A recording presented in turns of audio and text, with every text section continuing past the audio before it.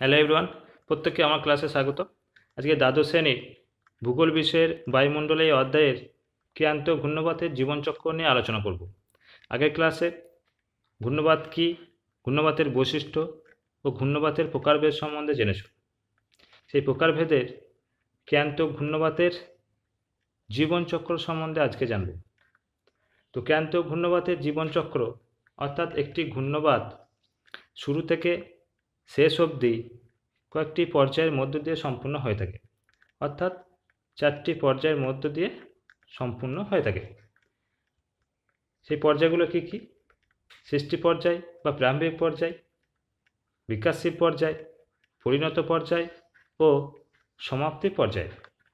তো প্রথমে আমরা জেনে নেব সৃষ্টি পর্যায় সম্বন্ধে। এই সৃষ্টি পর্যায়ে সমুদ্রের উপরি অংশে বিস্তীর্ণ অঞ্চল জুড়ে উষ্ণতা বৃদ্ধি পেয়ে থাকে। এই উষ্ণতা বৃদ্ধি পাওয়ার ফলে সেই অংশে বায়ুর চাপ ক্রমাগত কমতে থাকে। তার ফলে সেই অঞ্চলটি নিম্নচাপে পরিণত হয় এবং সেই নিম্নচাপকে কেন্দ্র করে সেখানে বায়ু ক্রমাগত ঘুরপাক খেয়ে থাকে। অর্থাৎ একটি ঘূর্ণিঝড়ের সৃষ্টি হয়ে থাকে। তো এই পর্যায়ে, অর্থাৎ সৃষ্টি পর্যায় বা প্রারম্ভিক পর্যায়ে বায়ুর গতিবেগ থাকে প্রায় চল্লিশ কিলোমিটার। ঘন্টায় চল্লিশ কিলোমিটার গতিবেগ থাকে। এবং এই প্রারম্ভিক পর্যায়ে যখন বায়ু ঘুরপাক খেতে খেতে উপরের দিকে উঠতে থাকে, তখন উপরের দিকে অল্প পরিমাণে মেঘ জমতে থাকে। বেশ। এখন দেখো বিকাশশীল পর্যায় বা দ্বিতীয় পর্যায়। এই বিকাশশীল পর্যায়ে এই ঘূর্ণিঝড় মাত্রা ক্রমাগত বৃদ্ধি পেয়ে থাকে। অর্থাৎ নিম্নচাপটি ক্রমাগত বাড়তে থাকে চাপের পরিমাণ আস্তে আস্তে কমতে থাকে। তার ফলে এই অংশে বায়ুর গতিবেগ প্রথম অংশ থেকে অনেকটাই বৃদ্ধি পায়। অর্থাৎ ঘূর্ণিঝড় তীব্র আকার ধারণ করতে থাকে। ঘুরে ঘুরে উপরের দিকে উঠতে থাকে। তো এই পর্যায়ে বায়ুর গতিবেগ বৃদ্ধি পেয়ে যায় ঘন্টায় প্রায় চল্লিশ থেকে একশো কুড়ি কিলোমিটার। তো এই অংশে যখন বায়ু ঘুরতে ঘুরতে উপরের দিকে উঠতে থাকে, তখন সেই উপরি অংশে জলীয় বাষ্পপূর্ণ বায়ু ঘনীভবনের ফলে লিনতাপ ত্যাগ করে। সেই লিন তাপ সেখানকার বায়ুমণ্ডলের সঙ্গে মিশ্রিত হয়ে বায়ুমণ্ডলের উষ্ণতাটাকে আরও বৃদ্ধি করে দেয়। তার ফলে এই অংশে ঘূর্ণিঝড়ের মাত্রাটি আগের তুলনায় অনেকটি বৃদ্ধি পেয়ে যায়, অনেকটাই বৃদ্ধি পেয়ে যায়। বেশ। এখন দেখো পরিণত পর্যায়। এই পরিণত পর্যায়ে, পরিণত পর্যায় অর্থাৎ তিন নম্বর পর্যায় তো এই পর্যায়ে বায়ুর গতিবেগ অনেক বৃদ্ধি পেয়ে যায়, তীব্র আকার ধারণ করে। অর্থাৎ এই অংশের যে নিম্নচাপটি থাকে, নিম্নচাপের কেন্দ্র অর্থাৎ নিম্নচাপ, সেই নিম্নচাপ আশেপাশের জায়গার তুলনায় এই অংশে বায়ুর চাপ তিরিশ থেকে চল্লিশ মিলিবার কমে যায়। বায়ুর যে স্বাভাবিক চাপ, সেই চাপ থেকে তিরিশ থেকে চল্লিশ মিলিবার কমে যায়। এখন দেখো এই যে পরিণত পর্যায়, এই পরিণত পর্যায়কে চারটি ভাগে ভাগ করা হয়েছে। অর্থাৎ পরিণত পর্যায়ে যে বলয়গুলোর সৃষ্টি হয়, সেই বলয়গুলিকে চারটি ভাগে ভাগ করা হয়েছে। প্রথম বলয়, দ্বিতীয় বলয়, তৃতীয় বলয় ও চতুর্থ বলয়। প্রথম বলয় বা কেন্দ্র। ঘূর্ণবাতের একবারে কেন্দ্রস্থল, যেখানে বায়ুর চাপ অনেক কম। ঘূর্ণবাতের কেন্দ্রে বায়ুর চাপ অনেক কম থাকে। এটি কুড়ি থেকে তিরিশ কিলোমিটার ব্যাসযুক্ত এলাকা জুড়ে অবস্থান করে এই অংশটি, যেটিকে ঘূর্ণবাতের কেন্দ্র বলা হয় বা চক্ষু বলা বলা হয়ে থাকে। এই ঘূর্ণবাতের চক্ষু বা কেন্দ্র এই অংশে বায়ু ঘুরতে ঘুরতে উপরের দিকে উঠে যায়। এই অংশে কোনো মেঘ থাকে না, অর্থাৎ মেঘমুক্ত ও শান্ত আবহাওয়া বিরাজ করে। বেশ এটি হলো প্রথম বলয় বা ঘূর্ণবাতের কেন্দ্র বা চক্ষু। বেশ, দুই নম্বর দেখো দ্বিতীয় বলয়। এই দ্বিতীয় বলয়টি, দেখো ঘূর্ণবাতের যে চক্ষু, সে চক্ষুকে কেন্দ্র করে এই দুই পাশে অবস্থিত। এই দুই পাশে অবস্থিত। এই যে দেওয়ালটি বা প্রাচীরটি, সেটি একশো থেকে একশো পঞ্চাশ কিলোমিটার ব্যাসযুক্ত বায়ুর চাপ ঢাল হয়ে থাকে। অর্থাৎ এই যে যেটি দেখতে পাচ্ছ, এটি হলো দ্বিতীয় বলয়। এই অংশটি হলো দ্বিতীয় বলয়। অর্থাৎ যার ব্যাস থাকে একশো থেকে একশো পঞ্চাশ কিলোমিটার।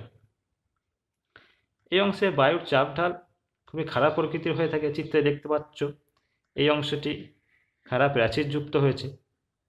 এটি হলো দ্বিতীয় বল এখানে এই অংশে বায়ু উপরের দিকে দ্রুত গতিতে উঠতে থাকে, অর্থাৎ বায়ুর গতিবেগ খুবই বেশি থাকে এবং ব্যাপক পরিমাণে বৃষ্টিপাত হয়ে থাকে।